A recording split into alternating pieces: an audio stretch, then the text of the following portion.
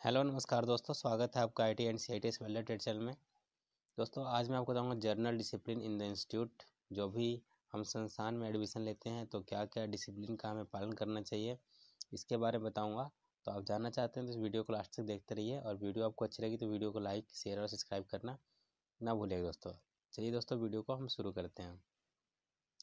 सबसे पहले दोस्तों, हमारा एक क्वेश्चन के टाइप में होता है, क्वेश्चन हमारा बनता है कि संस्थान में सामान्य अनुशासन बनाए रखने के लिए हमें किन किन बातों का विशेष ध्यान देना चाहिए? दोस्तों, जब भी, जब एक छात्र औद्योगिक प्रशिक्षण संस्थान में दाखिला या प्रवेश लेता है तो उसे सबसे पहले संस्थान में सामान्य नियमों का पता होना चाहिए, ताकि वह अपना प्रशिक्षण सफलतापूर्वक ग्रहण कर सके। इसके लिए निम्नलिखित बातों की ओर विशेष ध्यान देना चाहिए। दोस्तों कौन कौन सी बातें हैं उसके ऊपर विशेष ध्यान देना चाहिए, वो हम देखेंगे। तो सबसे पहले दोस्तों, हमारा जो है, संस्थान में निश्चित किए गए समय अनुसार आए व जाएँ। ठीक है दोस्तों? संस्थान में जो भी हमारा टाइम टेबल निश्चित किया जाता है, उसके अनुसार हमें आना और जाना चाहिए। ठीक है? दूसरा, संस्थान में हमेशा अनुशासन बनाए रखें। तीसरा है, संस्थान में कार्यरत अनुदेशक व स्टाफ का पूरा सम्मान देना चाहिए, यानी उनको गुड मॉर्निंग, नमस्ते, सत श्रीकाल वगैरह विश करना चाहिए।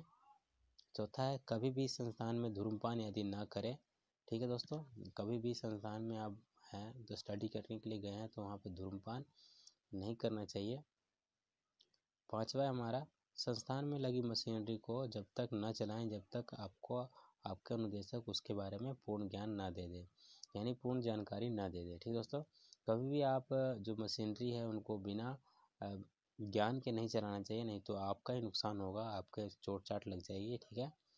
तो जब तक नहीं चलाना चाहिए, जब तक कि हमें अनुदेशक उसके बारे में ना बता दे कि क्या चीज़ इसमें वर्किंग प्रक्रिया है, ठीक है?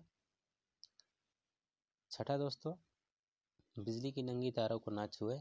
बिजली की अगर नंगी तारें होती है दोस्तों, अगर उनको छूते हैं, अगर इलेक्ट्रिसिटी उसमें से आ रही है तो झटका लग सकता है और हमारी जान भी जा सकती है, ठीक है? तो हमें बिजली की नंगी तारों को तो छूना ही नहीं है। ठीक है, सातवां है। चलती मशीनों को कभी भी हाथ से रोकने की कोशिश ना करें, ठीक है? चलती मशीनों को हाथ से नहीं रोकना चाहिए, नहीं तो हाथ में फ्रैक्चर वगैरह आ जाएगा। आठवां पॉइंट है, सभी विषयों का समय सारणी अनुसार अध्ययन करें। दोस्तों, समय सारणी अनुसार अध्ययन मतलब कि एक टाइम टेबल बनाएँ और उस टाइम टेबल के अनुसार ही उसको पढ़ें, ठीक है? इससे बहुत ज़्यादा हेल्प मिलती है एग्ज़ाम में। नौवा दोस्तों, औजारों का प्रयोग उनके कार्य अनुसार ही करें। जैसे दोस्तों हैमर का प्रयोग होता है ठोकने के लिए तो उसको ठोकने के लिए यूज़ करें, ठीक है?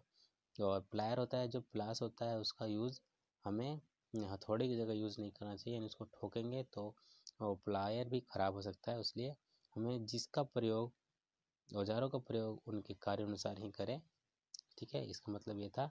दसवा हमारा, छात्रों को संस्थान द्वारा आयोजित कार्यक्रमों, जैसे खेलकूद प्रतियोगिता प्रदर्शनी जॉब मेला और रक्तदान शिविर में पूरा भाग लेना चाहिए। जब भी दोस्तों आप संस्थान में हैं, अगर खेलकूद प्रतियोगिता वगैरह होती है, प्रदर्शनी होती है, जॉब मेला वगैरह लगता है, रक्त शिविर होता है तो उसमें आपको ज़रूर भाग लेना चाहिए। इससे दोस्तों आपका संस्थान में अलग ही नाम होगा, ठीक है? और आप अलग ही स्टूडेंट दिखाई देंगे अपने संस्थान में। ग्यारहवा है हमारा संस्थान द्वारा industrial visit on job training में छात्रों को भाग लेना चाहिए। दोस्तों, जब भी ऑन जॉब ट्रेनिंग होती है या इंडस्ट्रियल विज़िट होती है जैसे संस्थान आपको इंडस्ट्रियल विज़िट के लिए जाती है तो उसमें आपको भाग लेना चाहिए, ठीक है? बारवा हमारा कोई भी ऐसा अनुचित कार्य ना करे, जैसे कि आपका और आपके संस्थान का नाम खराब हो। दोस्तों, कभी भी हमें अपने ऐसे काम नहीं करना चाहिए, जैसे कि किसी ड्राइवर को, किसी बस ड्राइवर को पीट दिया गुट बनाकर, यानी झुंड बनाकर तो ऐसा नहीं करना चाहिए आपका और आपके संस्थान का ही नाम खराब होता है कि उस संस्थान के स्टूडेंट ने ऐसा किया है। ठीक है? तेरहवा प्रशिक्षण अवधि, छात्र जीवन का अमूल्य समय होता है, इसे व्यर्थ न गंवाएँ। दोस्तों, आपका जो ट्रेनिंग है, आईटीआई वगैरह करते हैं तो आप की ये एक अमूल्य टाइम होता है, वन या टू ईयर का होता है ये कोर्स।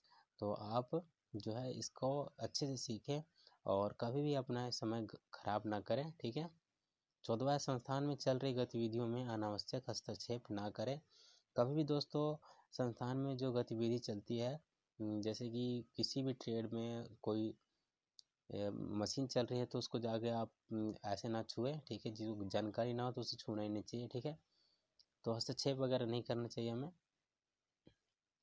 पंद्रहवा दोस्तों हमारा, एक मिनट, इसको मैं नीचे कर देता हूँ। पंद्रहवा हमारा छात्र छात्राओं को अपने प्रशिक्षण में गहन रुचि लेनी चाहिए ताकि वह अपने कार्य में दक्ष हो सके। तो दोस्तों, कोई भी हम अपना कार्य कर रहे हैं तो बहुत ही अच्छे से उसको ध्यान से सीखना चाहिए, ठीक है? ताकि हम अपने कार्य में दक्ष हो सकें, ताकि हमें कोई भी जॉब कोई भी कंपनी हमें आसानी से रख ले, ठीक है? सोलवा है, हमें अपने सहपाठियों का पूरा सहयोग करें तथा उन्हें सम्मान दे। कोई भी सहपाठी अगर आपको कमज़ोर है स्टडी में तो उसका साथ देना चाहिए। और उसको सिखाना चाहिए कि ऐसे होता है, ठीक है? सत्रहवा संस्थान में, अपने संस्थान में परिसर को साफ़ सुथरा रखें। एंड दोस्तों, अपने परिसर साफ़ सुथरा होगा तो अच्छा लगेगा और बीमारियों से दूर भी रहते हैं, सफ़ाई ज़रूरी होती है, ठीक है? अठारहवा संस्थान में हमेशा ऊँची ड्रेस में रहे दोस्तों, जो भी संस्थान है, उनका एक अपना कोड होता है, ड्रेस कोड होता है। तो उस ड्रेस कोड के अनुसार ही आप आईटीआई में, जो भी है सी में, आए और जाए, ठीक है? उन्नीसवा है परीक्षा में, परीक्षा से पूर्व अपनी तैयारी कर लें दोस्तों। तैयारी कर लें, यानी दोस्तों आप स्टडी में पूरे अच्छी तरह से प्रिपेयर हो जाए ताकि आपके अच्छे मार्क्स आ सके। परीक्षा के समय कोई भी अवांछनीय कार्य ना करें। दोस्तों, अवांछनीय कार्य मतलब कि आप नकल की पर्ची, चीट वगैरह ना बनाएँ। नहीं तो दोस्तों अगर आप पकड़े जाते हैं तो आप पे केस वगैरह हो सकता है। ठीक है, और आपका साल भी खराब हो सकता है। तो ऐसा कार्य ना करें, ठीक है? इक्कीसवा पॉइंट दोस्तों प्रैक्टिकल कार्य करते समय सुरक्षा सावधानियों का अपनाएँ। दोस्तों कभी जब भी आप प्रैक्टिकल कर रहे हैं, जैसे वेल्डिंग कर रहे हैं आप तो हाथ में ग्लव्स पहने हेलमेट पहने एप्रन पहने, ठीक है? ताकि आपको कोई भी नुकसान ना हो, ठीक है? अगर आप ऐसा करते हैं दोस्तों तो आप बहुत ही अच्छे से अपनी ट्रेनिंग कंप्लीट करेंगे और अच्छे से जॉब करेंगे, ठीक है? और आप बहुत नाम कमाएँगे दोस्तों। बाईसवा है, संस्थान में शोर ना करें। दोस्तों, संस्थान में हमें शोर नहीं करना चाहिए। इससे दोस्तों जब भी जैसे कि आपने देखा होगा स्कूल वगैरह में कि टीचर नहीं होते तो बच्चे शोर कर ले जाते हैं। तो आपको ऐसा नहीं करना चाहिए। आप अपने स्टडी में रुचि दिखाएँ, ठीक है? तेईसवा है, संस्थान को हमेशा अपना समझें। दोस्तों, संस्थान को अपने, अपना ही समझना चाहिए। ये नहीं समझना चाहिए कि ये हमारा संस्थान, ये कहीं हम स्टडी के लिए आए हैं। तो हम इसका नुकसान करेंगे जैसे ट्यूब फोड़ दी, पंखे वगैरह ख़राब कर दिए तो ऐसा हमें नहीं करना चाहिए, ठीक है दोस्तों? उसको अपना ही समझना चाहिए कि इसका नुकसान हमारा नुकसान है। तो कैसी लगी वीडियो दोस्तों आपको? वीडियो आपको अच्छी लगी तो वीडियो को लाइक करें, शेयर करें दोस्तों के साथ। और दोस्तों, चैनल पर, चैनल को सब्सक्राइब नहीं है तो सब्सक्राइब करके बेल आइकन प्रेस कर दें। मैं आपके लिए ऐसी वीडियो लेकर आता रहूँगा, ठीक दोस्तों? और अपने जो सुझाव हैं अब इस कमेंट बॉक्स में लिखें, ठीक है? तो वीडियो को देखने के लिए आपका धन्यवाद।